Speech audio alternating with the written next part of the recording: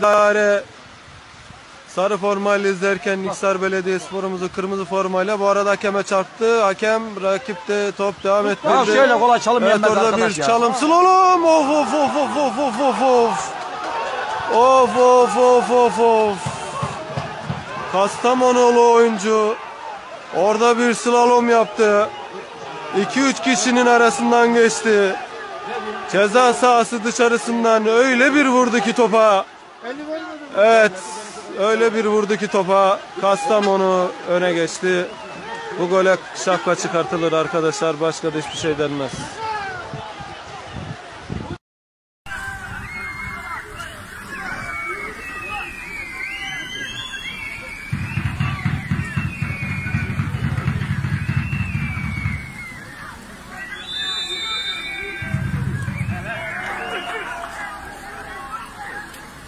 over here.